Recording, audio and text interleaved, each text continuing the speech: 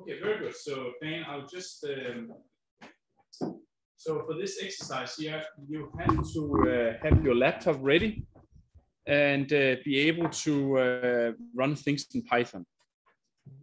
And um, I just will just start by just uh, sharing one of the, the slides I had the other day. Um, and uh, that's going to be the, the start of this. So just two seconds, just going to open Zoom.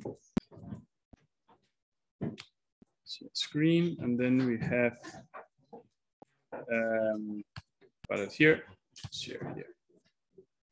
Okay, so you all see this. So um, I got a lot of questions on how these simulations are actually made and, and what kind of uh, terms are included, uh, what part of this simulation is actually Newtonian gravity, what part is uh, relativistic terms, how do I put these terms in, is it complicated, uh, how do you start them out, and uh, even more important, many people asked if, if they could try to run of these, you know, run some of these simulations themselves. Um, and um, so as I already described the other day, in this problem here, you have uh, interaction, in this case you have three particles. I also showed a movie with four particles, but in this case it's three. And if it's only Newtonian gravity, it will end with two of them splitting up and the third one being kicked out. But as you can see here, the end state of this uh, scattering here is a binary that is merging. And in classical Newtonian dynamics, it's not possible to have two objects merging in this case here because where would the energy go, right? So the energy that is radiated out here is basically um, modeled by this called the post-Newtonian, uh, uh like the 2.5 post-Newtonian term. And uh, that term effectively acts as a drag force on the two particles. So if you write out the, look at the equation of motion, we're gonna do that later. Uh, if you look at the equation of motion or the acceleration term uh, that that uh, term corresponds to, it's basically just a drag force. So if two objects coming very close to each other, they lose energy. And um, that energy is basically what we see as the gravitational wave signal. But we don't include you know, all the gravitational wave signals in these simulations is purely a, di a dissipation of energy. Right? And um, so I've not tried to do this hand-on session uh, yet. Maybe some of you realized I was sitting in the back during these lections here and uh, sweating a little bit because I was trying to do this myself and I was trying to uh, write to see if it was possible to write a short little n-body solver, few-body solver with these post-Newtonian terms. And uh, actually, I thought that uh, it could be funny to uh, take you through that process and even have you self to write a little uh, solver uh, with also the post-Newtonian terms. And you'll realize it's actually, uh, well, all things are difficult when you're sitting on a time pressure and at some point we have to go home. But um, uh, I will guide you through it and uh, I will also share with my screen what I was able to do.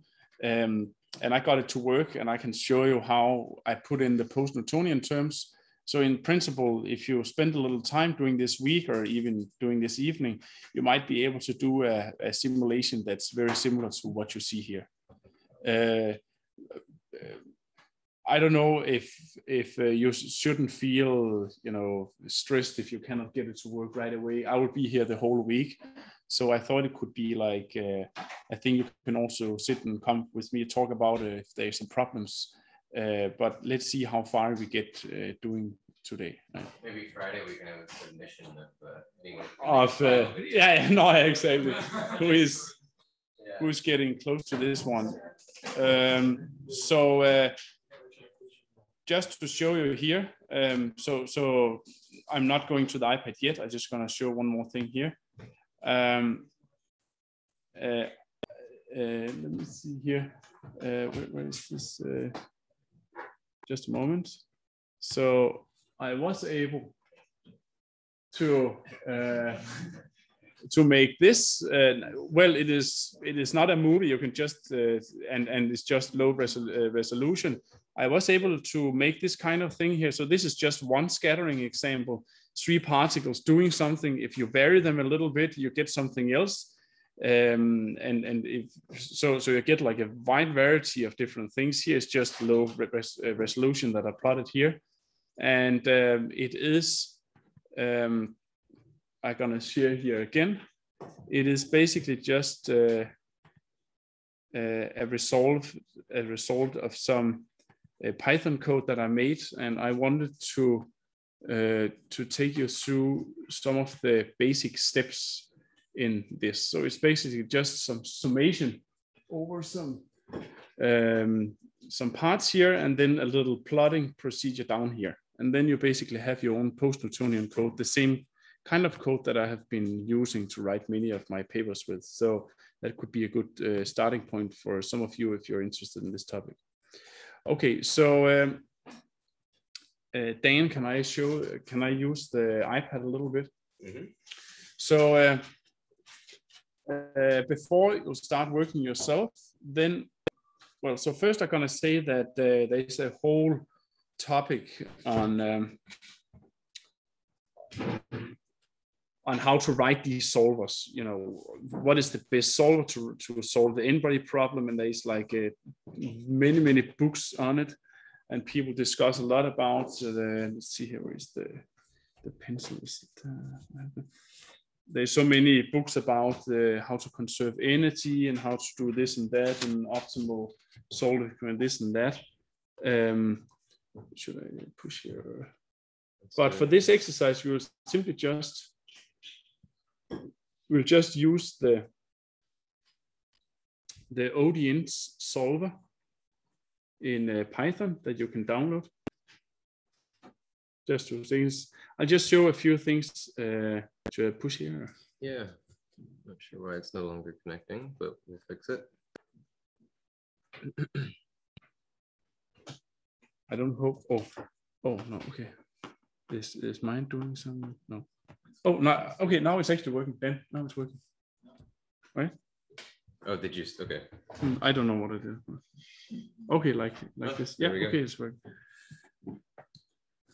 Uh, okay, so so um, for this um, uh, for this uh, exercise here, I thought you could you could just use this ODE solver uh, odeint solver that um, comes with uh, Python, right? And that basically solves an equation that looks like uh, this.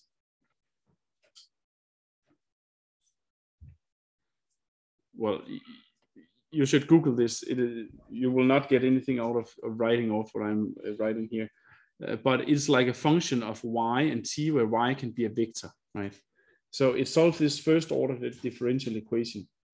Uh, so of course, the first problem is how do you turn uh, the acceleration equation that we have uh, in Newtonian gravity and with the post-Newtonian term into this kind of form, right? So if you have a few particles here, uh, and we denote this particle i, and you have this particle being j here, then um,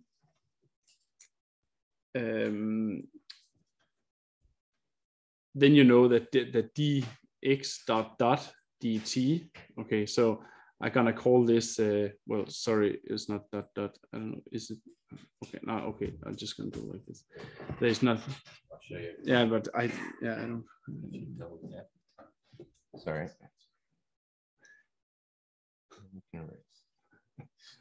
okay, that's fine. No, that's fine.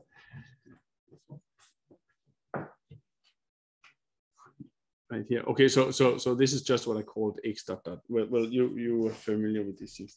Okay, so what you what you basically gonna do is that you have a vector, and that vector uh, you can think about having some components x, where this is the pos the position, and x dot, right?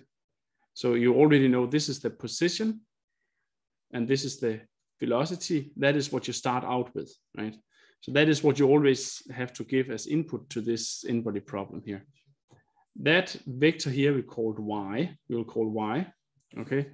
And then this solver that you have up here needs a function that takes in y, you will find out if you just Google it, it takes it, it it needs a function that takes y and then it returns y dot. Okay so what is what is y dot? You just take each of these components here then this one here will just be x dot and then you have this x dot dot. Right so you need some function that is doing this thing here this one here is pretty easy because you just take and map this part here of the vector into here. So the, the x dot, or the x, x dot is just the velocity, you take it from here, where the x double dot is what you get from the acceleration equation, right? So you have uh, acceleration of object i, if this is object i here. Uh, the total acceleration here is your sum over all j objects. Um, and then, then uh, you have the normal m uh, j over rij, where, where this is the distance between uh, the two objects, right? Uh, and if you want it into a vector, which you want, uh, then you have to to do like uh, this divided. So this is just a, unit vector, like like this, right? So for each to calculate the x dot dot, you take this one. So this is basically the x dot dot for the particle i, right? So um, that's the basics of um, uh, of of how to get the different terms in your solver, um, and um, uh, so let me think here what I needed to. Yeah, so so before we get into that point, so I, I can maybe also show a little bit how I set up my code, so you don't sit and spend too much time on on how uh, that could be done, but. Uh, there is something about uh, how to set up your initial conditions and how to stop your simulation as well. So we'll we'll come back to this. Um, maybe I'll mention one more thing just for practical reasons here. Um, oh yeah, okay, great. So um, as I said, this x and x dot, right? That will that's what I call y, this vector y. Now, if you have, let us say, three particles. So let us not write the code only for three particles, but let's take that example to be able to make that kind of movie that I made before. Then, um, then the vector y that you want to make can, for example, look like this. Uh, first is the position of the first particle. and you have, so x1, x2, uh, x1, y1, c1 you have uh, the, the, the vector of velocity. So this is kind of the, you know, the vectors there. And uh, then you have uh, P2 for the next particle, right? And P3 for, for the next particle. So uh, it's not that, you know, I'm a super programmer or anything like, like that, but how I understand it is that odeint take this vector. So you simply just have to find a way to put all these uh, elements on uh, in one long vector and just just imagine having some system of where they are in this vector and in the code that I just wrote I just split it up like this that you have uh, six components here six here and six here and every time you jump six you get to the next particle right so when you uh, calculate what should y dot dot be then it should be you know p1 now just going to be dot here right and then v dot uh, one and so on, right? Uh, and I can show in my code that there's a few different ways of, of handling these kind of arrays they, they, that make this sorting actually pretty easy when you sum over the particles. Um, so I think the, the main uh, step when you use this kind of solver is just to uh, try to find a way to put all your particles into one long vector here and then make that function that takes each of the elements in that long vector and return the dot of that original that you started out with. And then, um, as I can show you on my screen, then um, Python pretty easy by itself take care of like evolving that vector over time if we just give it a time step dt. Okay. And for now, we can just take a constant time. I will discuss later with you in maybe one hour um, how it, many of these solvers can be optimized if we use a variable uh, adaptive time step. And that's pretty easy uh, to put in ourselves. uh, in these kind of n-body solvers. So that does, does not require much.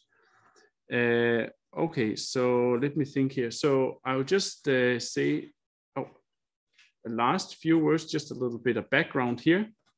So the, the simulations that I showed to you uh, consist of uh, two particles, you know, that is a binary here. And I just set them up to be in a circular orbit.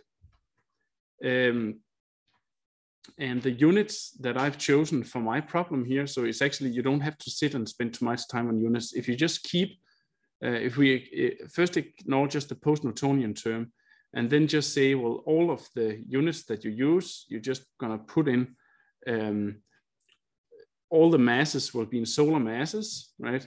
All the distances will be in AU. Um, then uh, if you just write out the equation of motion and, and ignore you set g equal to one in all your equations, then the right equation of motion, the right movement will come out of your particles. Okay, so that boils down to that the Newtonian limit is, is basically scale free. So, so you can, you can, you can, you can, uh, it doesn't really depend on what you choose here. But if you start to put in the post-Newtonian terms, then suddenly the actually scale, the actual mass start to matter and impact your system.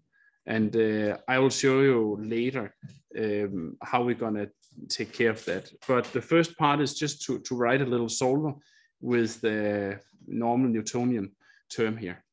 Um, and then what I have is a single object coming in here from the right. Uh, in that could, I think in the simulation that I showed was like five times the it's called the semi-major axis, uh, which is the distance between these two particles here. Um, and then we don't have to care about it right now, but uh, we also have to find a way to stop the code from running. So if some of you are working more on this during the next couple of days, and I'm very happy to help you, then um, there are different ways of stopping the code. Either you can have a time uh, limit say, okay, I don't want the code to run more than a uh, 100 orbital times of my initial binary. Uh, or I don't want it to run more than uh, 10 seconds because I don't want to sit and wait too much. Uh, it could also be uh, energy arguments. It could also be at some point the configuration of your binary single scattering such that this binary here is not bound to the single anymore. And the single is just going this direction and binary here so they will they will never interact anymore. So then there's no reason for for actually simulating it. Uh, so that's that's um, that's what you what you you know really really need in in in few body scatterings because you want to know what the outcome is. And if you have this kind of outcome, then you um, you often record what is the resulting semi-major axis A and eccentricity. And from this, you can, for example, calculate the inspire time or the merger time, and you can ask if this one here is smaller than, say, the Hubble time. If it is, if you do a simulation, uh, a population of scatterings and try to understand some system, you can count this as the merger and record its properties. So it's, it's important to have this kind of stopping as well. Uh, there is another one that I think uh, will be useful for our, that is a merger. If two of the, of the objects are getting very close to each other, then it's naturally to stop the code. And uh, often it's um, if two objects are coming, say within 100 Schwarzschild radii or something like that, then pretty sure it's going to result in a merger. So, so, so, so that's a good, good stopping uh, criteria. If it's uh, black holes, of course. Um, if it's stars, it could be if the stars is, dis is disrupted. Um, okay, so uh, let me just, uh, I think um, like you know uh, i think the best is maybe that i kind of share my screen a little bit with what i wrote. And uh, i didn't uh, optimize my code or anything so many of you might think it looks a little i don't know. But i tried to to write it as clear as i could uh, so uh, to get people started i think i'll just put my screen up and then you'll start to look at it and you can follow the the um, template that i just made or you can make your own. Okay so, uh, So noise, yeah.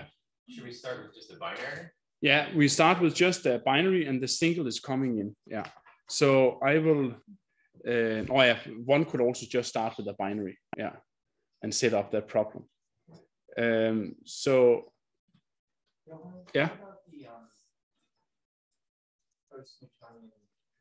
Is that, I guess we model that as energy loss? Is that the way to It is, it is, yeah. So I can, I will, um, maybe I could just show my screen and sh uh, show how that's, that's, that's how that's put in. So just uh, two things. So I can, uh, okay, so then I'm gonna show my, share my screen over here. And then um, I'm gonna show that you can very often get uh,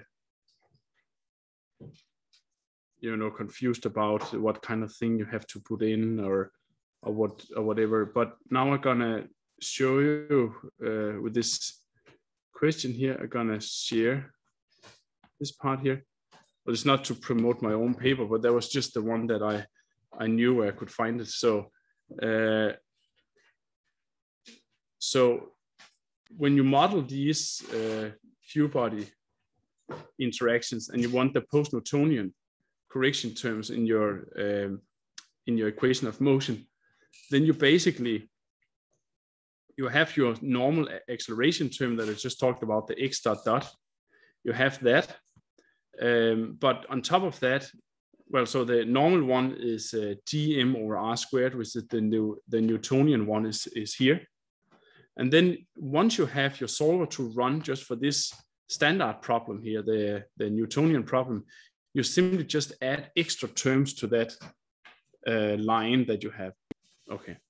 So the two first terms here are conservative terms. They take care of the precession of the orbit. So this one here, if you want to calculate the precession of Mercury or whatever, you can put in values for Mercury in the sun uh, probably also need for the solar system, but no, but but Mercury in the Sun, and then you put in this term, and then you get the orbit precessing. Right, that's a precessing term. This is higher order precession. This one here, and then the first dissipative term is this term that you have here. Okay, and this term here takes this form here. It's relatively simple. It just involves the masses, the relative distance between any pairwise objects, but um, compared to the Newtonian that only depends on the distance, it also depends on the relative uh, velocity as you see here.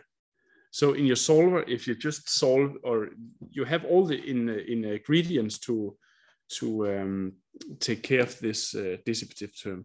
So once you have the solver just for the Newtonian, uh, then it's very easy to update it just to put this one in. And if you look at this term here, it corresponds to a dissipative drag force term, basically, that takes out energy from the orbit. So right now, we don't have to think about this term here. If we just get it to work with the first term here, it's very easy for me to explain how to just add this on the same line. And then you get for free all the things that I actually showed. Yeah. Okay, so let me just uh, share my screen. Um, yeah. Can you give us a link to your article? Uh, yeah, I can do that. I can uh, do that.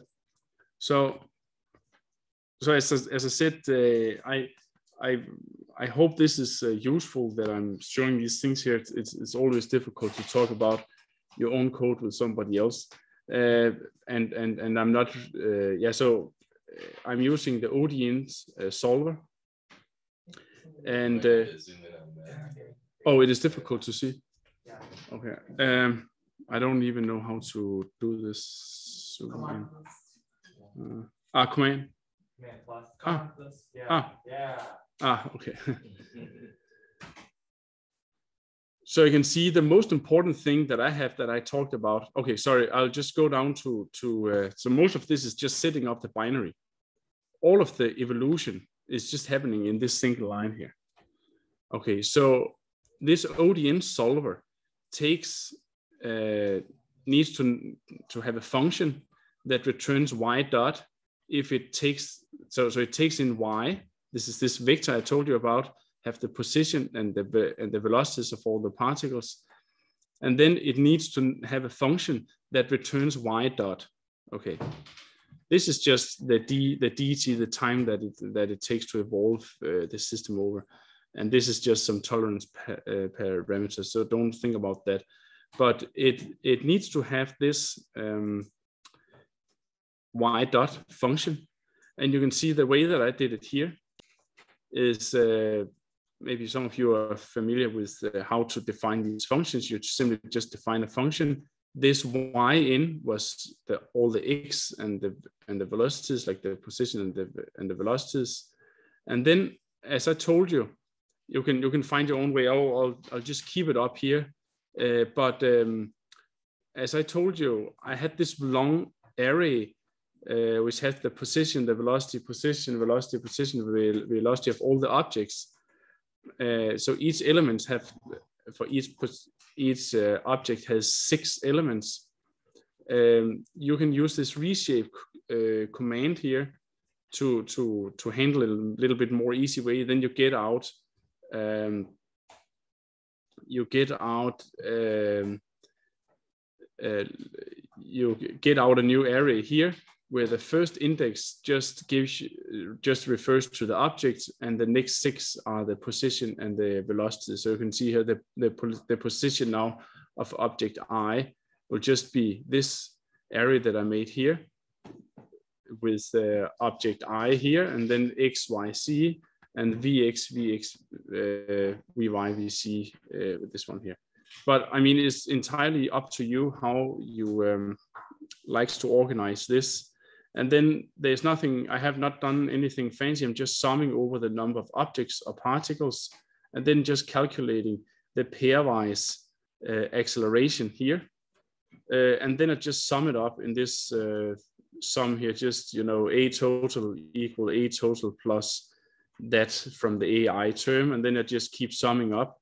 Um, and here you can see I just added the post-Newtonian term. This is the Newtonian solver here. I just add this term and then you get all these interesting mergers for free, basically. Yeah? Can you explain, did you give any special initial conditions or you just randomized the? No, I gave uh, special initial conditions. I set up a binary and then a third object coming in. Yeah.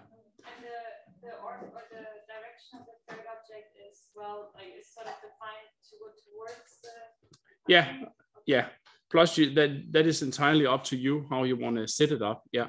But in the simulation that i have here i have a binary and um, the semi-major axis of my binary in this case is very small. You can set it to one or whatever you want and the masses are uh, one one one here. So the i have a binary with two objects here and the third one is just coming in. Um, so um, uh, i think i will probably uh, uh, recommend to so when i when i wrote this here earlier today i was simply starting by setting up uh, the binary and the single. And then i defined this y array here. So this is the one i start out with. I have the position the velocity position the velocity position the velocity of the three objects. And then after that i thought okay how do i gonna evolve this one here forward in time right? So maybe I think it would be good for all of you to start out with um, setting up a binary and a single where the binary uh, has a semi-major axis of some number, three masses, and then in my case here, I just set it along the x-axis. So this is one component and the other one component, and then the velocities are along the y-axis. So everything in the c axis or c direction is, is zero right now. So everything is in the, in the same plane. Okay, so I can zoom out here and you are uh, welcome to, to either use what I had here. And at some point, I'm sure you can, you're in a position to play around uh, with this yourself. Okay, so just the last thing here. Um, this is where I set up my objects, right? Number of objects is three and this is my mass array. I have three objects, different masses. My Y array that I already talked about, the number of objects is having six elements. I specify the masses, the semi-major axis, and AU and Msun. Yeah. Um, and then uh, down here, I basically already have set up the position and the velocity of my three objects. And uh, you can start by doing that, try to understand what I did here. And then uh, once you're ready to move forward, then we then we can talk exactly of how you you want to make this f dot function. Uh, and then once you have that, you can see you're basically done is just looping over the time uh, steps and then plotting it. Okay, so um, actually most of my time when I'm doing these things is just how should I set up the three objects. But um, uh, yeah, so I will be around and help uh, with whatever uh, questions you might have and how to get started on this. Those Yeah, Andrew? in the chat. Yeah. Oh, sorry. Uh, Andrew, you have a question? Yeah, um, I'm wondering how essential the two precession terms are to the dynamics. Um, Uh, that's a very good question. For the random scatterings or the chaotic scatterings that I have done right here, uh, they are not very important. Uh, as Smadar said, they're very important when you have the secular scatterings, um, simply because that the time scale of the precession uh, can um, be similar to these Kozai um, secular timescales. But in this chaotic problem, uh, the, the timescales are simply too, too long to matter.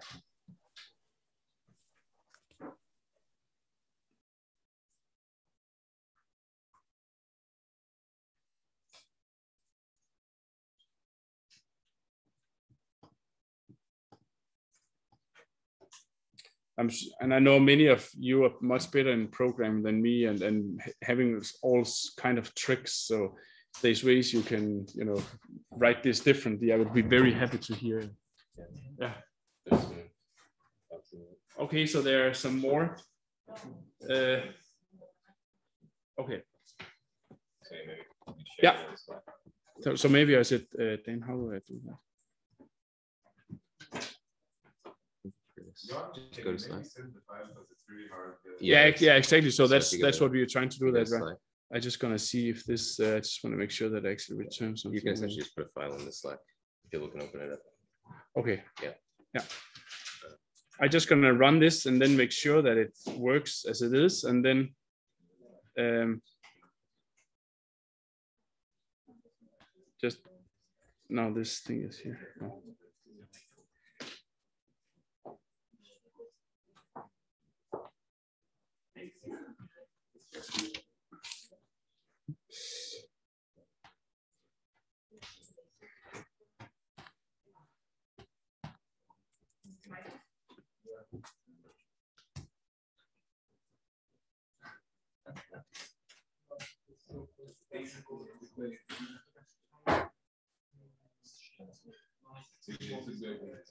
You're doing this in barycentric coordinates? Actually, I don't do that. No. Uh, I don't have to do it. It doesn't really matter. I just Uh, noticed ex- your setup had a. Yeah. Could explain the setup was, it wasn't barycentric, it was M one over M. Yeah, exactly. A And M two over M Yeah, uh, so it is actually, I set up the binary in zero, like with, One- with the, with the uh, with the, with the sender in zero, and then the third one is coming in, so it's not really in the barycenter, you're actually right. yeah. So Um, so let me see, I just wanted to, maybe, yeah, maybe you can explain that setup. yeah, Unless I missed it, sorry. no, no, uh, it, um, I should have, uh, made an illustration of exactly what the setup is. That was a mistake, just, I guess you can just do it it yeah. if you have time. I do. Now I just wanna, I just wanna make sure that when I run the code that it returns something relatively quickly. So people can see it's working. Something to do with time steps. and. Uh, scale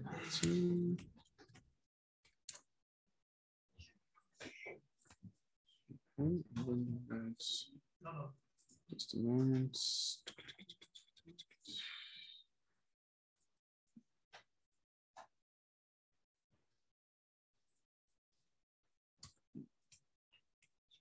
Yeah.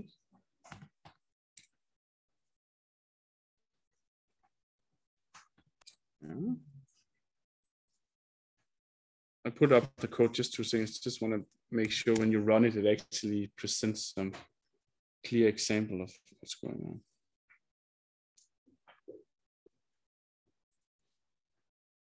Okay, thought about something here. Looks fine.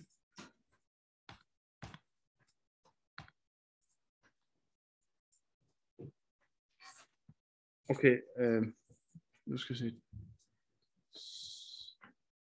So Dan, when I open Slack here, then it's just down. Oh, I see. Yeah. This is it? Should I just do it here? Yeah, so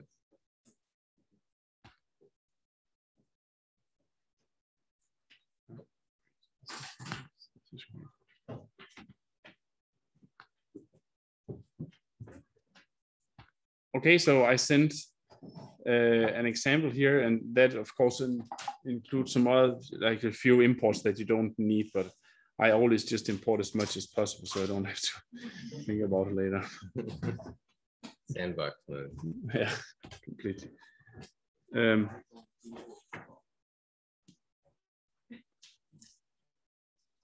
so uh, actually, I think that was a good idea that I shared this code. I didn't think I actually about how this would work the best, but I think that's good. Then you can give make precise questions of you know different lines or, or whatever parts of the. And please, if somebody so personally, right now, I think it runs a little slow. So if somebody knows what parts of the code that's too slow or some way to speed it up, that that's very useful. What?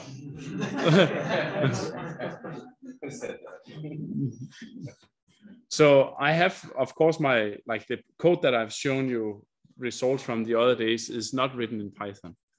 Uh, so that that's why it's running much faster. But in Python, uh, I don't know what's. Uh, it's just a little slower, maybe. What do you use to test your code? Just energy conservation? Or that could be energy conservation, yeah. Um, uh, for example, yeah. But how do you use energy conservation? Well, that that that's a that's a problem. So Well, when you turn that off. yeah. No, because I mean. okay, so so there there are there are many ways you can. Well, there's a few ways you can you can test it. Uh, but I mean, the, the, the test that you have to do right now, if you choose to write your own or you choose to play around with the one I sent around, you can set up a binary and you need to see that it just stays on the you know circular orbit. Yeah. Yeah. So if if you think about the problem that's uh, that Madame was talking about yesterday, you're actually not able to simulate it. It is so extremely difficult to uh, to keep track of the energy and angular momentum. That is that is why she also writes out the equations by hand, and and uh, it's almost Yeah, impossible. it's like. It's extremely difficult. yeah. Einstein Equation equation, right? Like, like weird Hamiltonian stuff.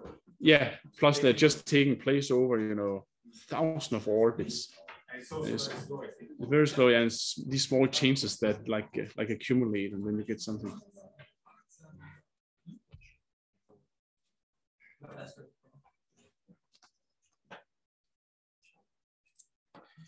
if there are some people that just you know is going to play around with the code that I already sent around, you're also just free to ask about uh, specifics of that code and uh, um, and some ideas of uh, what kind of things you can you can do with it and, and what initial conditions you can run with it and so forth.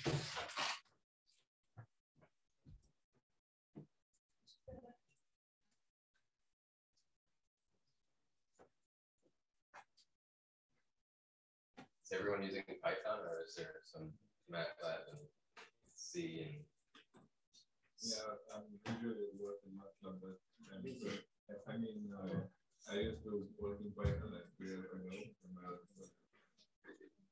I'm just gonna like remember everything I did like three years ago.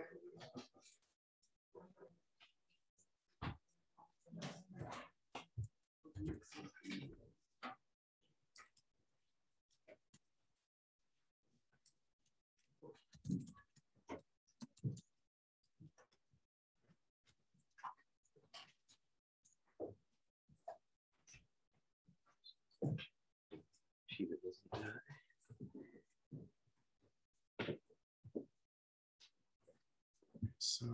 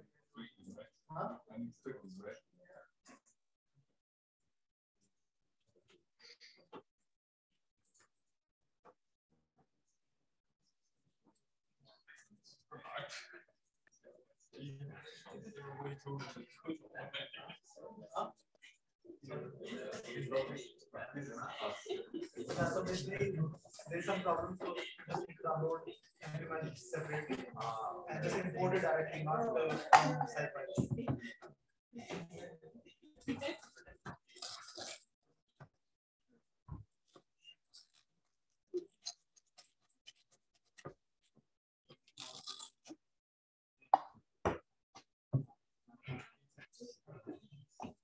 Also,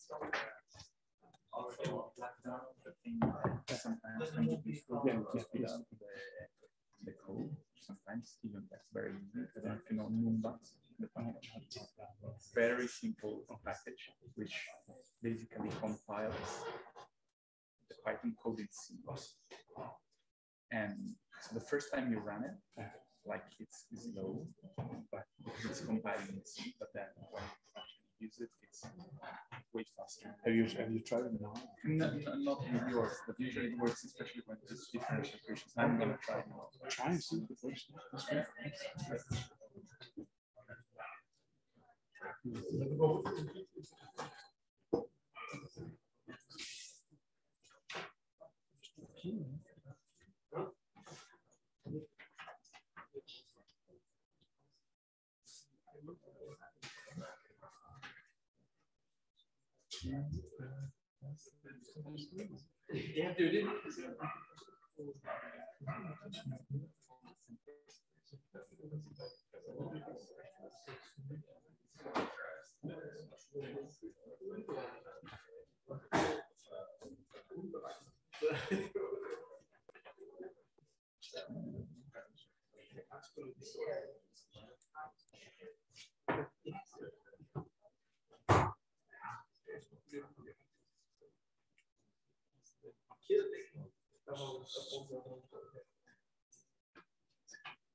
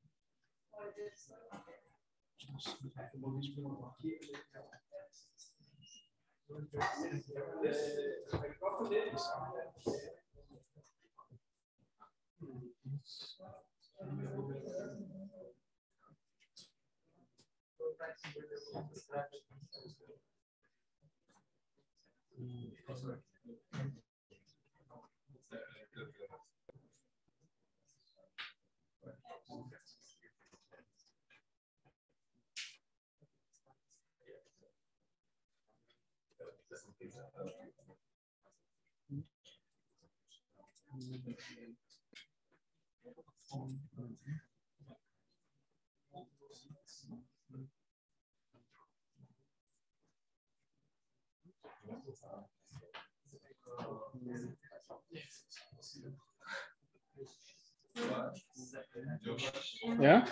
Uh,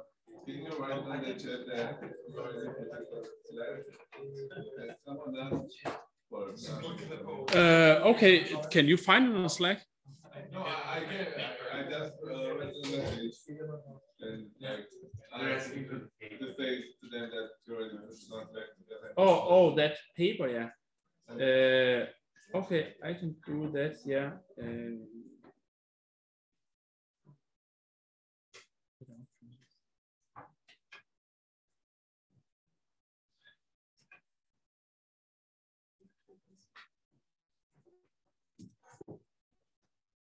so that that's that's only for the post-Newtonian term, uh, which um, haven't uh, come to that one, then it, it doesn't really.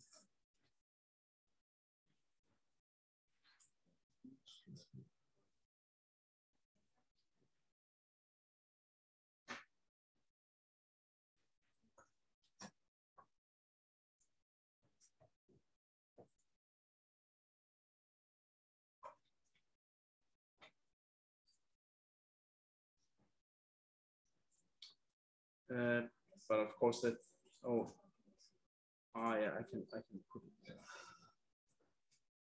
Now it's only in the chat. But Can you go through some- ah Ah, yeah. Okay.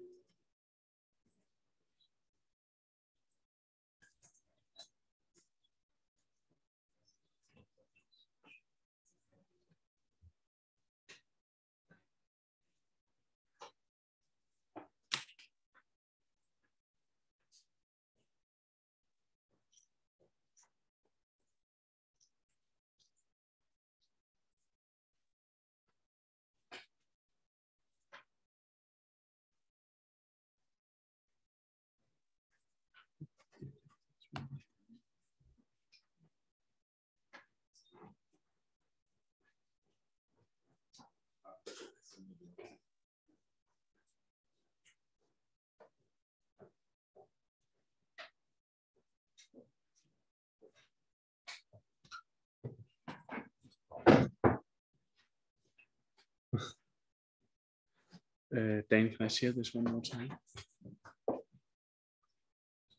I'm just gonna talk a little bit about here. You don't have to listen to me, but I'm just gonna tell up tell about how you set up these systems here.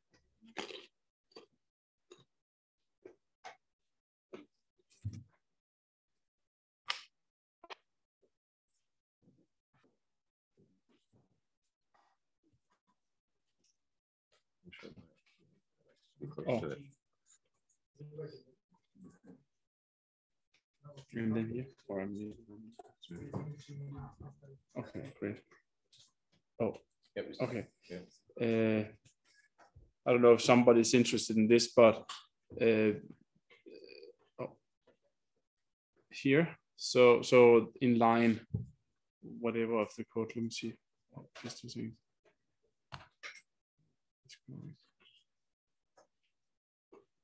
Just a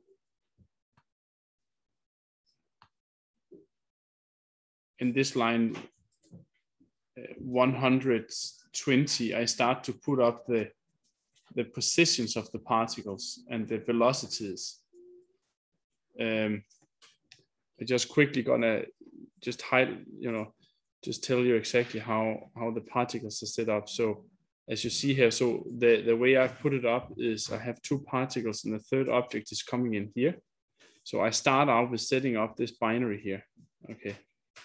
And um, what you basically do here is that first you go to uh, a frame where the object, where you, you consider, so, so this is one way of doing it. You first consider the binary as one object that has the total mass and then one object that, that has the reduced mass mu, right? And then you calculate what, the, what should this v mu be for, for this object here to be in a, a circular motion around uh, this object here, right? And that's uh, mu v squared over r.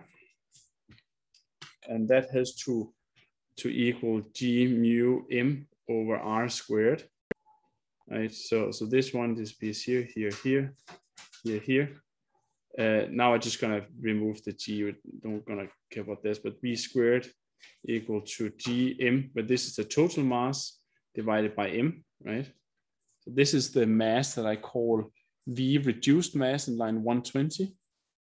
Okay, and now we're gonna see how we're gonna set up the binary with that, you know, knowledge about from or from, from that reduced uh, uh, velocity. So one way you can also ask, so so now if I have two uh, binary members here, how should I set it up? Uh, such that it actually remained in a bound uh, circular binary. So first you do like M1. So you, you use uh, you you set it up in the center of mass of this binary, so M1 R1, where this is M1, and this distance here is R1. So in general, it can look like this. M2, and this here is R2, and this one here is R1, and this is M1. So this one here has to remain true, okay? And now if you take R, is just the total distance, the one we call the semi-major axis, this is R1 plus R2, then you can uh, write it out, then, then you can solve for R1, for example, just from this equation.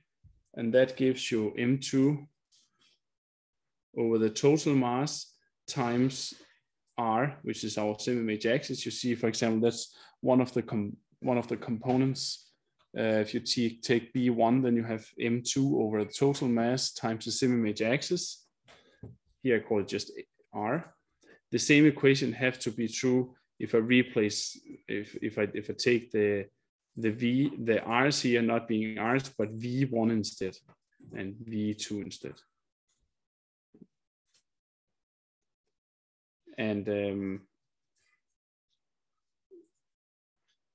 yeah, so the equation in the line one, two, three, for example, then you see uh, the velocity.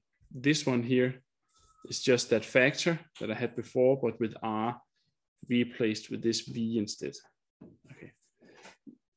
This is one way of setting it up. You always, it's always easier to look at the two body problem in the reduced uh, body problem. I, I forgot what it's called. The one body problem. The reduced two body. Whatever.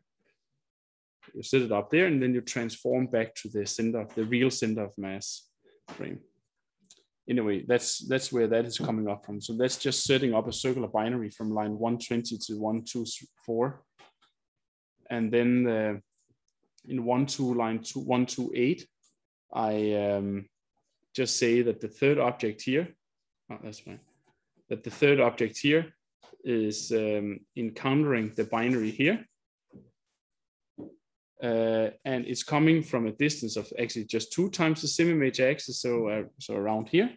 And then the velocity is 0.1 times the, um, the v mu, because that's like, like a characteristic uh, velocity of the system. If the incoming object is coming with a v that's much much greater than this v mu that I that I had here, then it will just split apart the system. It will ionize it. If it's very very small, then you get into these resonating things that I showed. But if it's too high, it will split it apart. So I just set it to to a lower value point point one. Once you've got it to work, you can start to to run the experiments with different uh, velocities. So just vary that factor in front. So that's where these relations are coming from that I have there. Has anybody just tried to run the code that I already gave? Did it work or? Yeah. Okay. So um,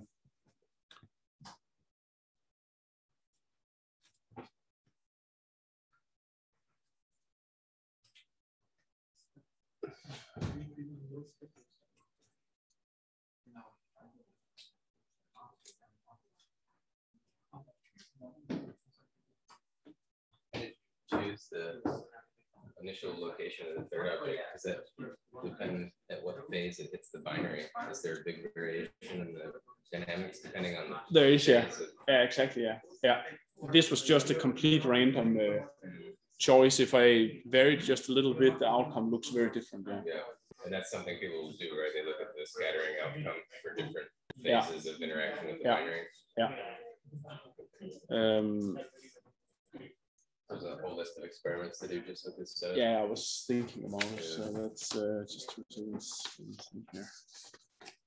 Um,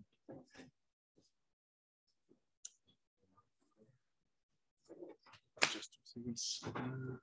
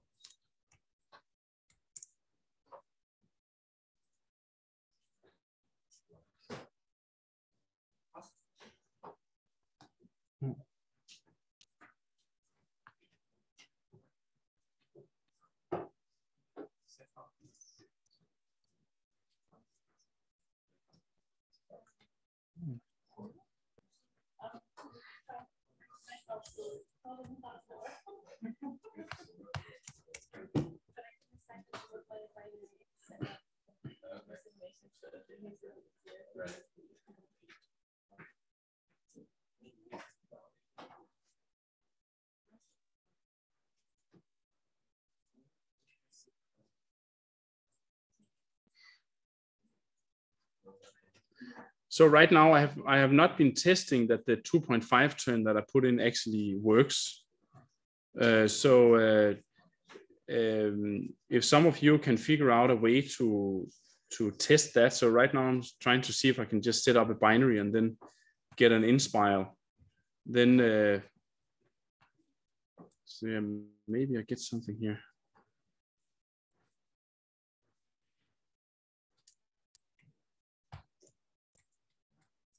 Because one standard thing to test with this code then would be then to, so you can, for example, take the third object to, to have a very, very small mass. So it doesn't really affect the outcome of the three body scattering. And then just put the two objects to be relatively heavy. And then make sure you're in a regime where the 2.5 term matters. Then you can test this um, inspiral formula that you have from the Peters equations, the A, A uh, as a function of time that we derived the other day.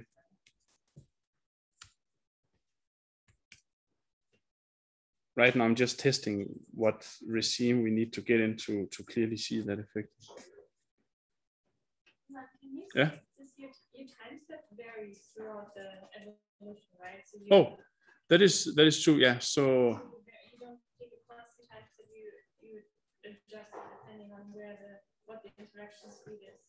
I can uh, tell you about about that. Yeah, definitely. So what I what I do here. Uh, let me see.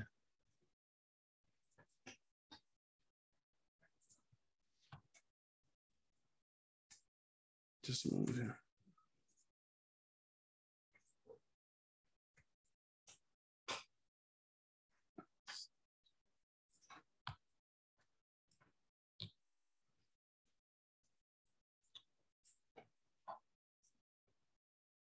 I don't know if I changed my lines now, but around 155, I have this function that's called dt.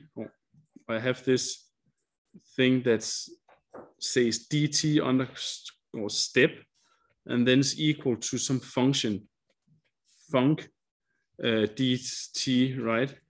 and then after in that parenthesis, it gives this e evolved like the like the e vector, the y vector, sorry, the y vector. So this this function here, um, yeah. So so either you can use a constant time step. So you can see I'm looping in one five two. I'm looping over the number of steps, and uh, it's not very good to take the number of steps as the as the as the counter it's much better to for example take a maximum time step eh, or a maximum time to, to simulate the system you can see it did there's in 143 but it didn't Im implement it yet so that's you can you can try to see if you can make that work instead but um, here's just summing over the number of steps and uh, one thing you could do just take a constant time step but that's normally not very effective for n-body codes or in any codes at all because sometimes this the system varies on much smaller timescales, so, sometimes it varies on much much larger timescales.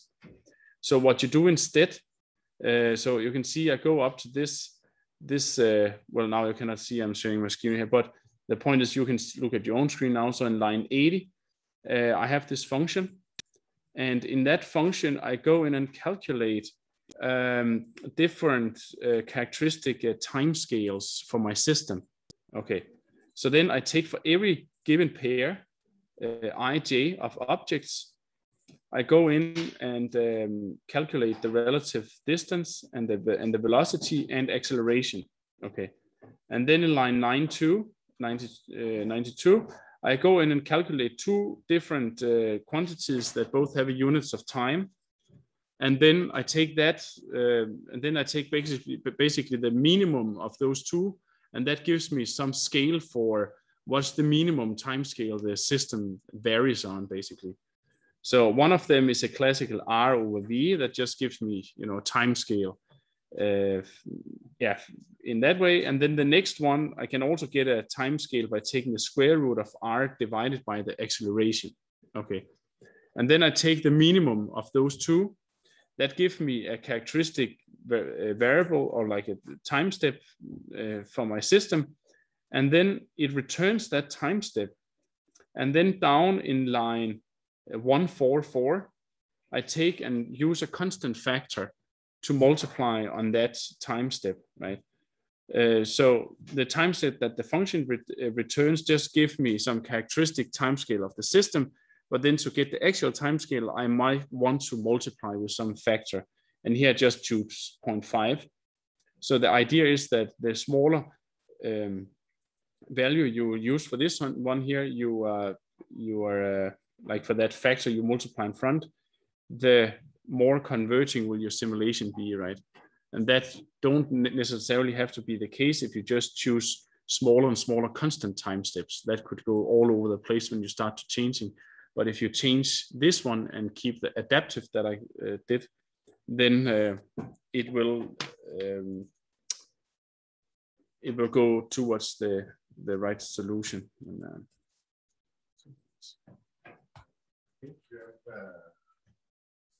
in Python, but embedded in the variable time steps. Yeah, but the uh, that is that is true. Um, I don't know what they're based on. Actually, well, there might be some way of. Uh, uh, I mean, what I did here is just a couple of lines. It's not too difficult. Uh, you're absolutely right. They have variable time steps. Uh, I don't know how they calculate. Uh, you know exactly. Yeah, I know. I'm just saying for people who are uh, who want to do experiments. Yeah. But don't want to go into yeah, yeah, yeah, yeah, yeah, yeah. No, it could be that that could also work. Yeah. Yeah. Good idea. Good idea. Uh, so let me see here.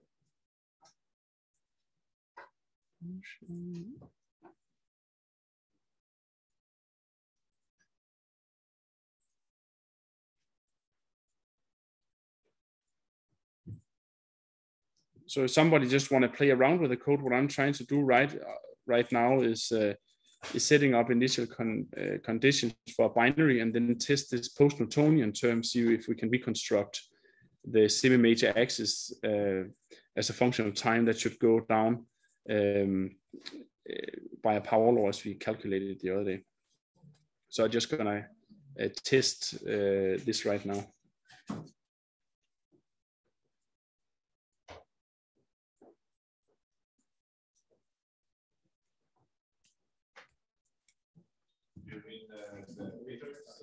Yeah.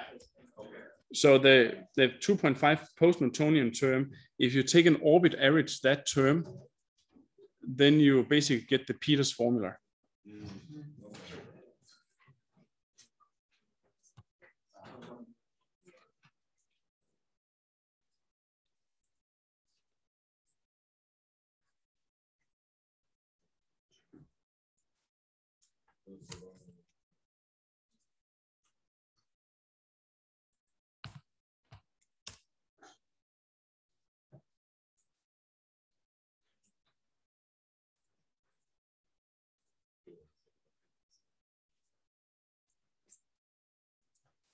Other exercises could also be to, to simply vary the mass of the incoming object and see then what uh, happens uh, from, from very heavy to, to very light.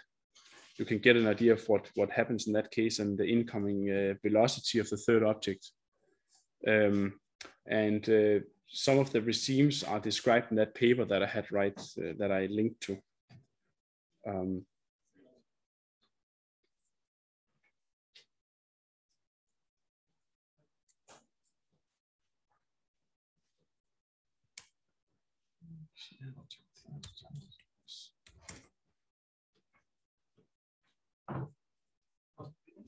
Yeah. possible to make this more light, like. Yeah. Like, so that these things become more light when they're. Yeah. Evolving. Can I see? Can I see?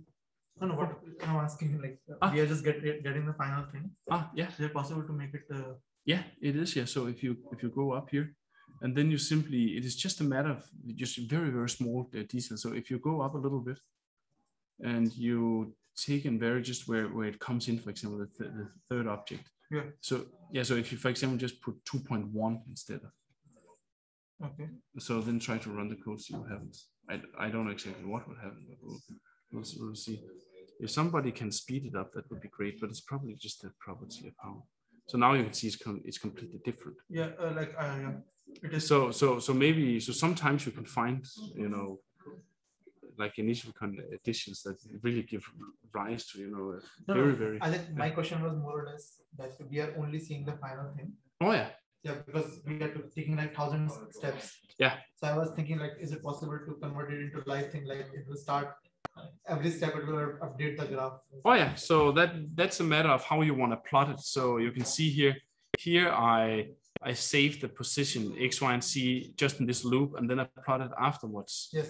So And maybe down here, yeah. Down here you could uh, you could do you know you could plot it in different things. So the first element here Yeah. is the number of time like it's the number of steps right?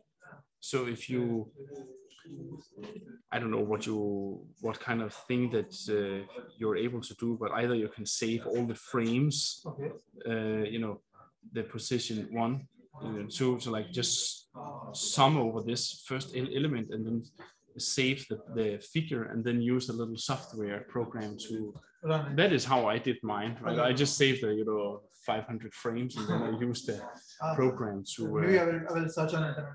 yeah try to try, try to do that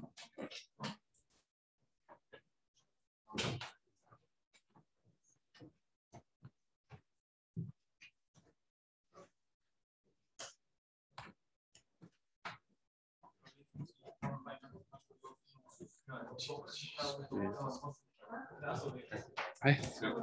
oh yeah yeah yeah sure Yeah, maybe I just don't understand. Oh, Uh. So you said like if, if you set one of the mass is very low yeah. and the other two, and yeah, yeah. then you should see the spiral. Um, so well i basically uh, what I did is um, yeah. So as I as I said, 50-50 and like yeah, exactly. So so that uh, so I'm still trying to figure out exactly how close they should be to each other. for us to see the inspiral because So I thought are- it's like a few tens of solar radii and then. oh then but then you have to simulate it for a Hubble time. Oh right. So then, then it should be lower. Uh, yeah, so so I'm trying to figure out how close we can get and still want to sit and wait for it, right? So basically, when I see this, Yeah. is that they are. Uh, yeah, I, I'm not sure what. Oh I yeah, so here. so what is so what is the mass of the third object that you Well, I said it's 0.1, so it would be not uh, affecting anything. yeah okay so let me see oh you, you see I got something here I mean, that, two objects that are actually spiraling in now okay. um can you see that? Uh so Yeah, and they, they seem to plunge and merge, no? they do yeah. They actually seem to plunge and merge. Um just two seconds. What did I do here? So I just put this one to very high value. Just gonna zoom, just to see. I just gonna see so people can. Sharing. Okay, so you can see here I I have um. Now the the resolution is relatively low, but at least I have some two objects that are like spiraling in here, but the, this time step uh, resolution is kind of low. What is the integration time? So here I used, uh, oh no, can you, no, you cannot see this.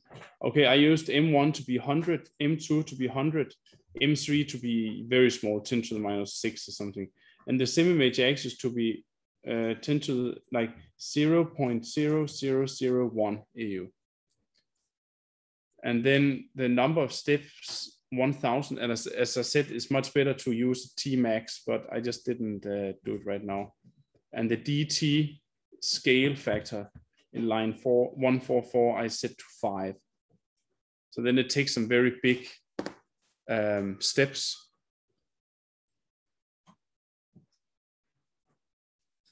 That means that the resolution we get is not very good when we are plotting. Uh,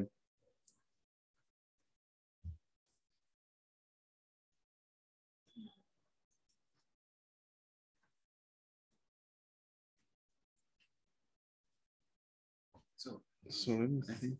yeah I think it did basically what you said. I got Why? this, yeah yeah, yeah. but this doesn't seem to be the same. Oh, can I? Uh, can I? Can I Yeah, see yeah, yeah. yeah. So it, it this right? Very, very, very small. there? Let's try here, let's try. Maybe I missed. No, Maybe no. the separation is too large. Oh, oh, sorry. There was there was one mistake that I actually found in the code. That is in front of the post-Newtonian term in line 69. There should be a minus sign, so it don't uh, split up this. In minus sign in front in front of the whole thing. Yeah. Like this. Yeah. Yeah. Okay. So so let us let's try this and then um, is there 100 100 try with this now right, right Okay. now We're. Is it- let me just try- just two things. Uh, yeah try to try to run with this just two things to just two, one two oh oh this one here it was actually five I don't know maybe I said it in the wrong way but it's Okay. fine. so try you can try this Okay. so actually, maybe the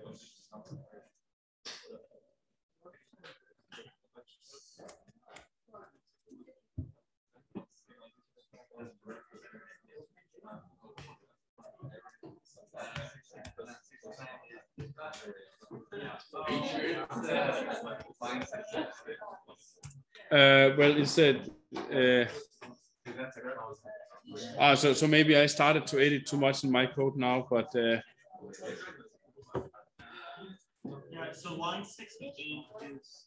okay, 60, 68, that's true. The line 68, there should be a minus sign in front. all the way in the front, yeah. Sorry about that.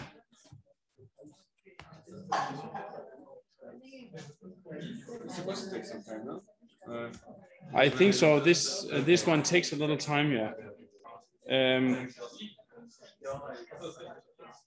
it's probably something to do with they are getting too close to each other. Can I see how it looks like? What did I use? Uh, I just have to zoom in. Oh yeah, try to zoom in there. So the third object is just being scattered off, Yeah, but it's- too. Uh, I don't know what's happening, but no, but I think this is. yeah, I got, think I got the same. Yeah, I think yeah, yeah, exactly. Yeah. I mean, So now I just I'm thinking about how we can uh, show this better. Um, so what can I do here? I can take. Okay, thank you. Yeah, that's fine.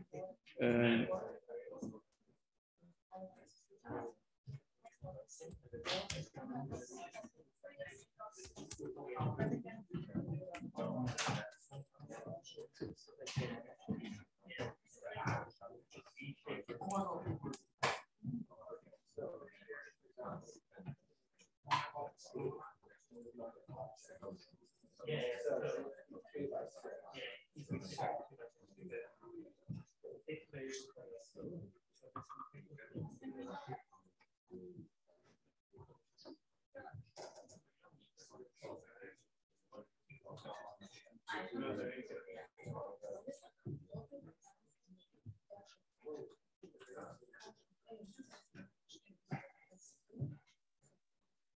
uh, getting the some of the movies that I've shown is, is sometimes not that easy because some of these highly eccentric mergers that are forming doing the scatterings are, are pretty difficult to find sometimes. Maybe I showed you one in a thousand or one in a hundred.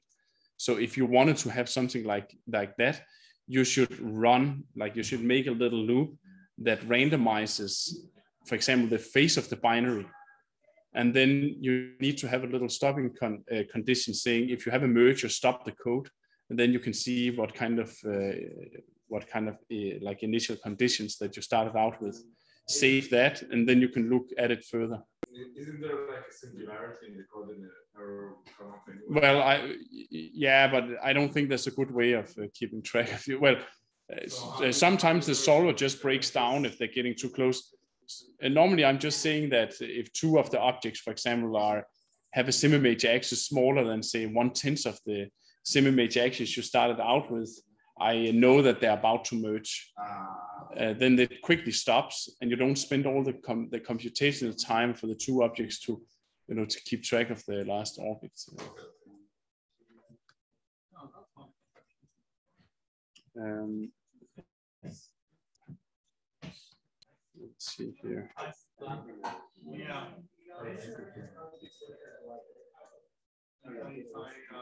Yeah,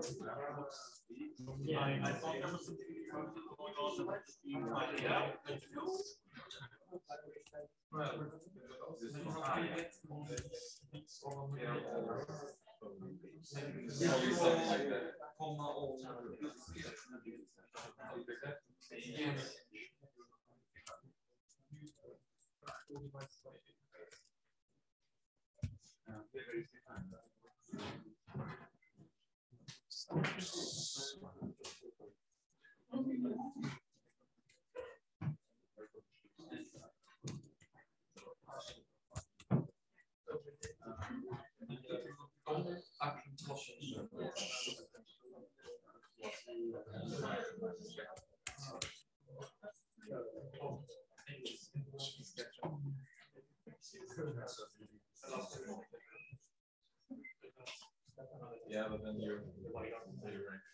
Well, that, that's right.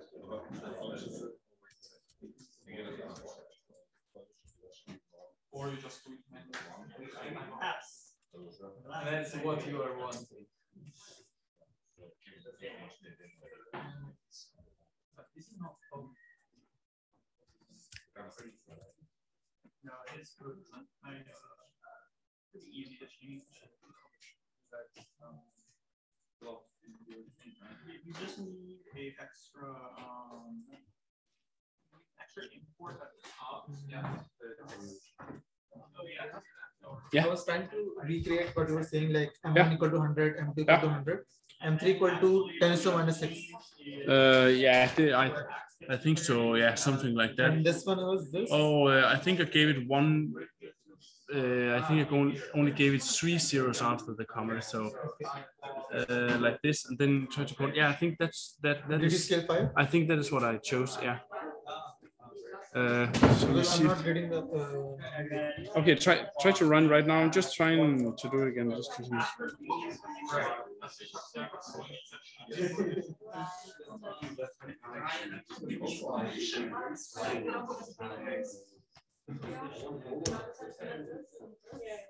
Let me see what I, uh, what kind of masses did you give it? Yeah, okay, so I, I'm running now with the same. Let's let's see what happens here. I'm getting this. Um, Can I ask- maybe wrong. Oh, so try to zoom in on that circle there. Uh, This is, is because that we, we have to work on this. Oh, you should zoom in in uh, in Python. uh, how? Uh, so, oh, I don't know how your things is working. Mine is working like I can do like this. I push this one here and then I zoom in. So this this is like Ah, it's like okay.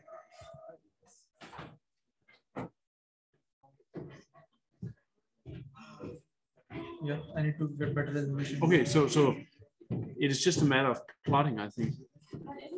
It's just a matter of plotting there. Uh, I don't have the same as same as you. you have a tensor minus five, not tensor minus six for M three. No, well, that shouldn't really matter. Actually. You can put it zero, it should be the same. I'm Oh, not yeah. getting in Inspiral. What? I'm not getting in Inspiral. No, so that's uh, it's it's all about exactly how you. So I think I changed this to five, and that's simply because that I uh, try to run it right now, and then. Uh,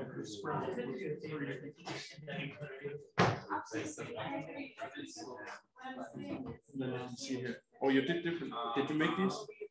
Yeah, yeah. Okay. Yeah. yeah. No, no. So, so that definitely gives some different. Uh, I, I, did some testing. Yeah. Uh, so this here is still running, but this one here should should give you uh, and give you an inch file.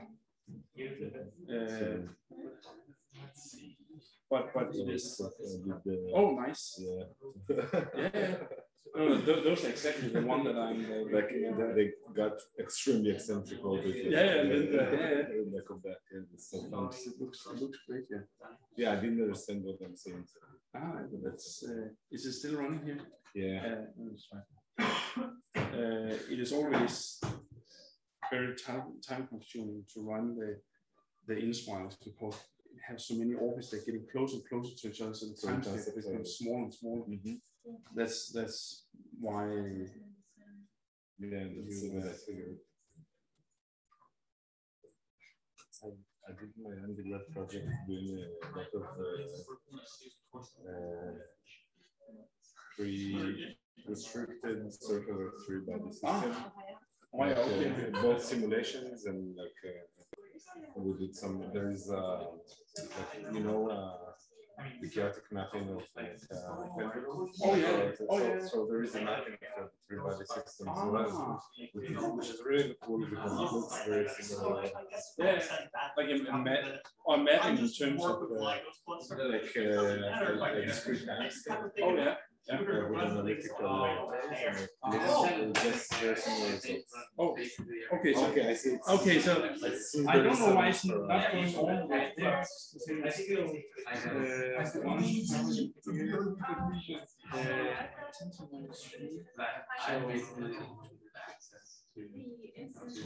minus three. Oh, so I have one, two, three, one, one, two, three, four. Sorry, four. Sorry. So that would be- Okay, so, so somebody So here you have a little bit of an inspiral, right? So you can even have, so let me see here if I can, if I can trick the, the code to run a little bit, uh,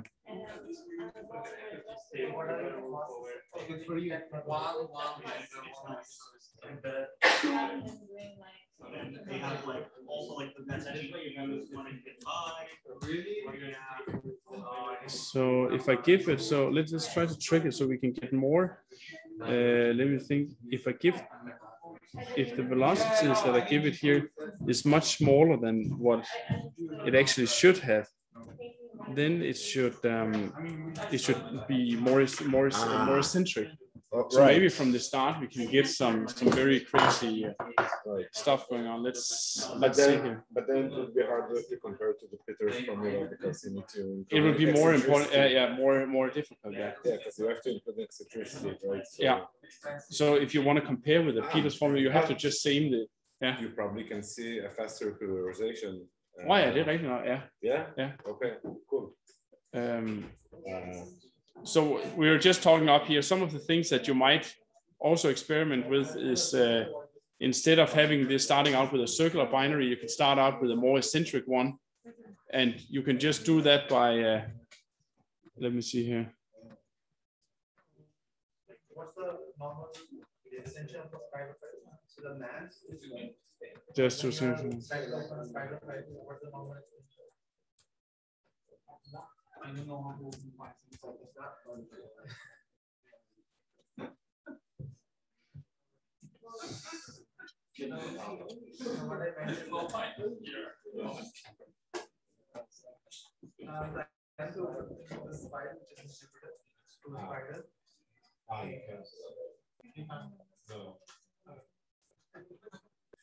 Like you can go into Jupyter and copy the code.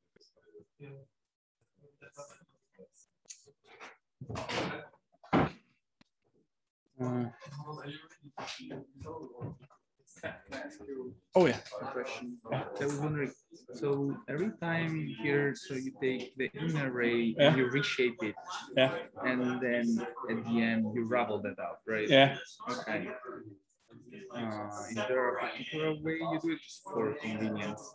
It is for con- for convenience simply because then I know that the first object, uh, like so down here when I when I loop Row, over them, okay. then I imagine you know. You know, I, I start out with this. You know, the, the, yeah, I take the x uh, x uh, dot for one and the x uh, x dot for two, and and then when I did the reshape, right, then in my head I see that this one is the I see. That's easy, more easy to make say, oh, the object zero or object one, object two, Yeah, right. and read it here. Because I think Maybe that's, that is what's taking a lot of time on. no, because I'm trying. So I'm trying now. I'm eliminating. I limited the mass. Oh, yeah. Yeah. That's so. I maybe I can try to see if I can. Oh, you eliminate the masses, oh, Already. because you. Because every time, like every every time Oh, yeah. you assign, Yeah. it's occupying memory. Oh, that's occupant, yeah. And it is doing Oh, so it's actually, I think you're probably right, it's probably these with the Ravel and, and, and the Those reshape that takes tons of time. Yeah, because If you can try to figure out where the, the, where the i guess that would be nice actually. Yeah, because Yeah. I mean, I guess the, the main thing is evaluating this function many times. And Yeah. This is what I got as well. Let's see here. Oh yeah, so I think this, uh, now I'm just plotting one of them. Uh, so let me see if I can.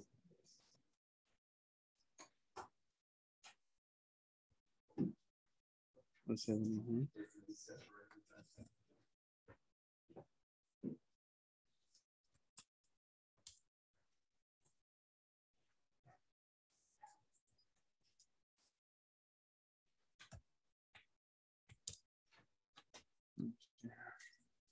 Um, uh, merges so fast that the third body doesn't have enough time. oh, to- you're kidding. Yeah, Oh yeah, yeah, but uh, you cannot zoom in as I can, right? no. Your tool is more that's So how you run something. why else. isn't that it's I- so? Uh, It decreases the eccentricity. Yeah, I just thought that the plug window would scale with the single image axis, but maybe start out here and then oh, that's yeah, but why is it that we don't? Uh, I don't know. Not sure. Ah, maybe uh, it broke down or something. Maybe the integrator. Uh, so how far does the third object start away? See, it is now, it is now ready. You see- you see- Start two times. It was actually old. No, we're already. I got rid of all unused imports and added it. yeah. Oh, it, uh, it has something to do with the time step, I think, because the solver probably it solves actually over this orbit, right? But then the first, the first, um, so this this dt here is very close to the orbital time. Mm. So the so it actually you're jumping five orbital times and it's already inspiraled, I think. Uh, so Okay. Okay. I just want to show this. Uh, now this is all. So maybe this time uh, make the the DT scale smaller, right? Yeah. So I could see more details. Yeah. Okay. So I tried it right now, and but then you also have to make more steps. Uh, so you have to vary these two all the time. But if you set a maximum time limit, saying that it has to inspiral, for, for, example, five orbital times, then it should by itself. Uh, so instead of having a loop saying, you know, uh, looping over the number of steps, you have a loop that say while While- uh, while t t is less, than yeah, exactly, max. and Okay, then it okay, just keeps on going, and you might even want to. Oh, so this is actually quite nice. Okay, so I'm gonna show this one here. I, I got this. Ah, I got similar a similar result. Oh yeah, yeah, yeah, very, the- very nice. I just uh, made it uh, the velocity 0.5 instead. Very 0.1. nice. Yeah, just gonna show here the. Okay, so I'm just gonna show here, for example. So here I made a little more eccentric Oh, nice. uh, case instead to test this post-Newtonian term. You can see the two inner, uh, well, the binary here clearly is spiraling in here, and you get this merger in the in the end here, right? So it all depends on you know playing with the time steps and playing with the you know these things, right? So so once you get used to that uh, or even write some code that optimizes what what these the number of time steps and and and things should be then i think you should be able to to get these things to work here so i think this here looks pretty good and uh, here as we talked about we have already set the third object to a very low number so or low mass so it doesn't dis- disturb this one here but i'm sure if i put in a higher mass of the third object this would not happen with just this destroyed i'll try to do that Can you but track the orbit of the third one? Yeah, I That's can- what a test particle. Oh, that is oh, that the- is a good point. Around the. So fire- that's very good. Yeah. I don't know what the what the time is, but I think play people just sitting and playing around and trying to get Yeah, used to probably watch this. 15 minutes left. Yeah, that's fine. Yeah, Uh, actually less. Less. yeah, But, that's fine. Yeah, yeah. I'll just make a few more uh, tests here and then experiments, and then we can uh, discuss what what people can can follow up with and, and use it for. Right. I think we're formally done at quarter of. Okay. Seven minutes. but Yeah, that's fine. Some time to Yeah. wrap it all up. Yeah. Oh, then that, was a good idea. You can see here what, what happens. Yeah, because I guess that's you're approaching the restricted three body problem, but You are, for- yeah. For a binary inspiral. For a binary inspiral, That's yeah. pretty cool. So you can see here what uh, I actually got it here. So you can see what I what I got here. So Dan said, why why don't you try to plot the third object? So that's what I did here. So you can see the third object in this case is so light it's just temporary bound to this binary that's just about to spiral in. so uh, and then in the end it's uh, kicked out. Um, so as somebody would say, well, this is pretty extreme because you, we start out with a binary on a very, very small semi-major axis. But the point of the movies that I showed you and the work that I did was that the, the eccentricities are sometimes excited to such high values here by the third object. Um, so what I've done here, now we're cheating a little bit. We are simply just choosing very high, you know, very small semi-major axes are high centricity, so we can see something every time that we run the code. But um, in the movies that I showed, I maybe run, you know, simulations hundred thousand of times, and then get an idea of what com- what combinations give rise to these inspirals, and then I study them in detail, right?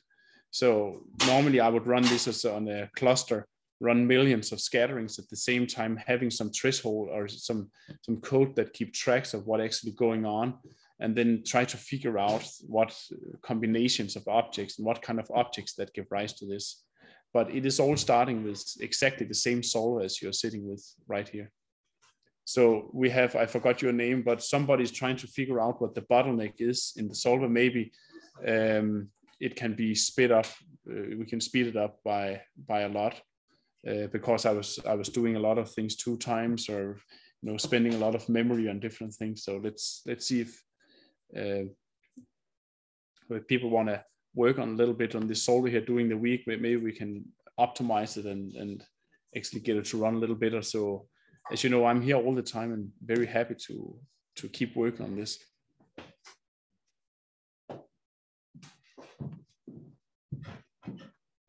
I can try to see. So I so as a little track, what I trick, what I basically did to to make this inspiral here um, on a little in a little different way as we saw before the circular orbit you can see here so if you if you give the two objects a slightly lower uh, value here for the velocity than what you what you would for a circular object uh, or orbit then you get an, a, an eccentric orbit instead right so here i just multiply by 0.5 okay and if you give it these values here 100, 100, as I had before, 10 to the minus 4 in AU, multiplied by 0.5 of these. Um, number of steps, 1,000, and a scale actually down to 0.2. Uh, and you try to run this, you should get exactly what I was showing there. Yeah, what is it? Uh, epicenter velocity is. Is it something like Oh, I don't remember how the scales like were because then you just see what the E actually is, but that doesn't matter. Yeah, no, I forgot. No, you want to plot. No, yeah, so you can plot. Yeah, Yeah. That's a I good, don't remember that is a good one. Yeah, no, I also I don't remember. Something like that. Maybe there's not even a square. No, but maybe yeah, I I don't remember. actually. I don't remember. Um, let's see if I can. I have it upstairs. but- so one thing that, that that so the next thing one could do with these inspirals is simply to uh, save what the distance is between the two objects and also save the time and then if you plot well in the in a peters paper so so this classical uh, papers like peters formula in his paper he has the semi-major axis as a function of e there is the eccentricity there is a closed form for that re, for that re, uh, relation, right? And if you start out with an eccentric binary, just write a little module that calculates what is a and e at any given time. If you then plot a and e, it should follow what uh, Peters' uh, formula gives you. And then, of course, the funny thing is now when you start to increase the mass of the third object, you start to to change all the properties of this standard uh, isolated two-body problem.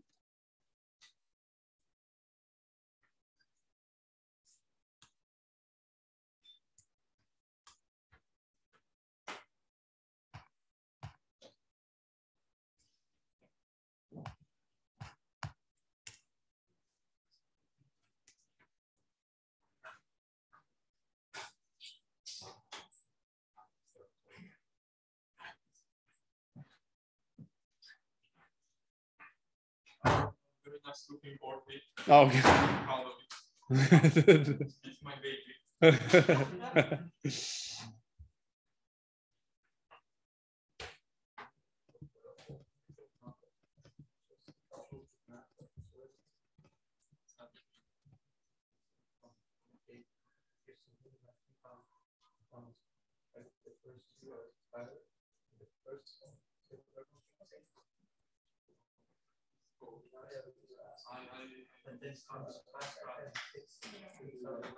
Have you managed to speed it up a little bit, or you're trying? Um, I'm trying to work Okay. the. Yeah. Okay. Okay. easy, Yeah. Yeah. Yeah. Yeah. yeah. not super easy to do the- I'm trying to do the integration. Yeah. We don't define every kind of order.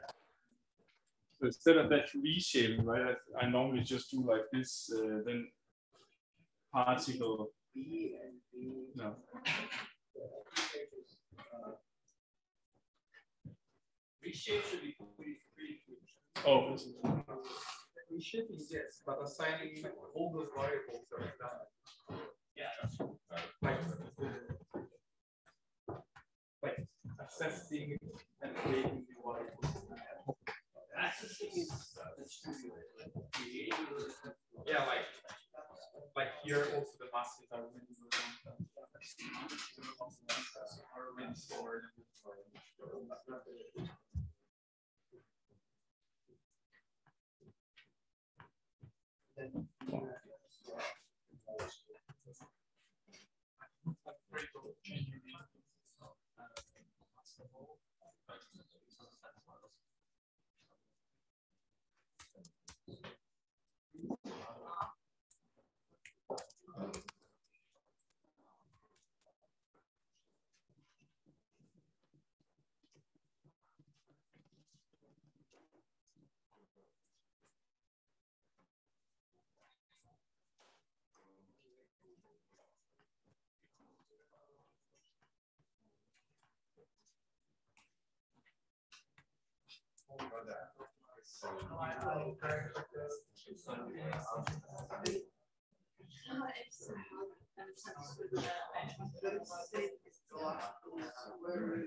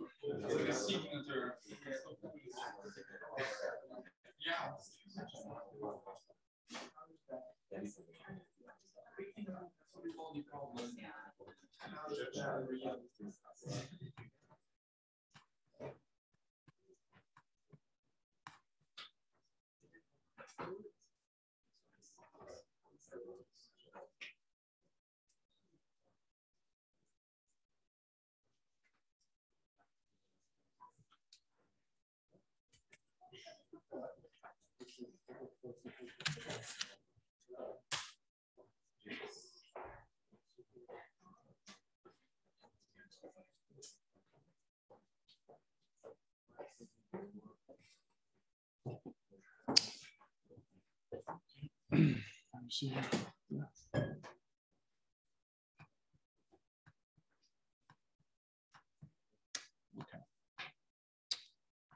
So, do somebody have some some questions, uh, you know, about uh, how this works and how you can play with uh, with this, or some comments or some ideas we could try to look at, or um, then uh, we can we can end with that.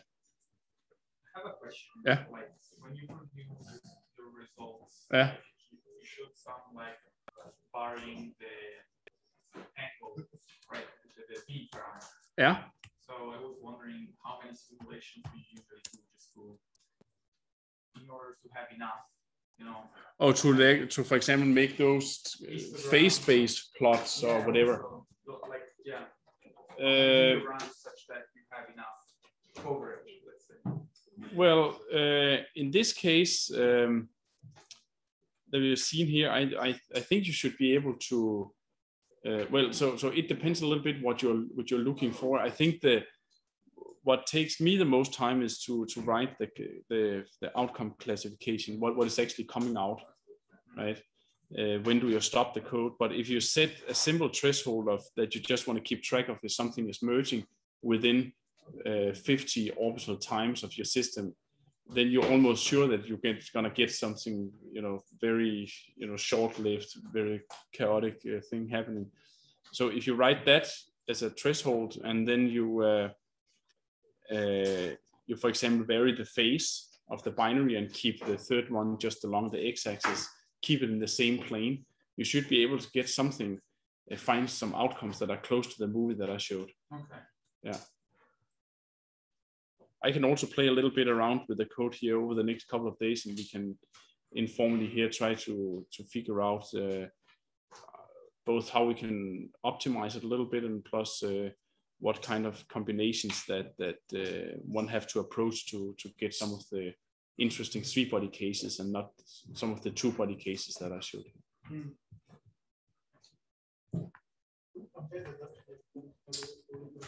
Okay, so maybe I'll just show one little uh, thing here in the end, and then uh, we can start to wrap up.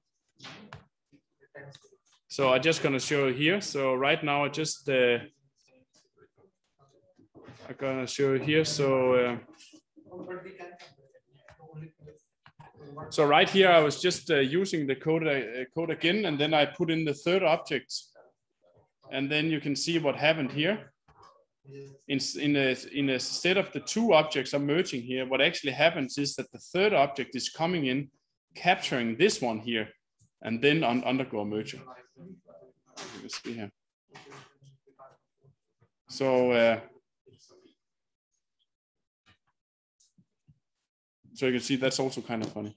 Right? So, so once you get these things to to work or some classifiers to work and start to run a lot of experiments, then you start to pick up all these events.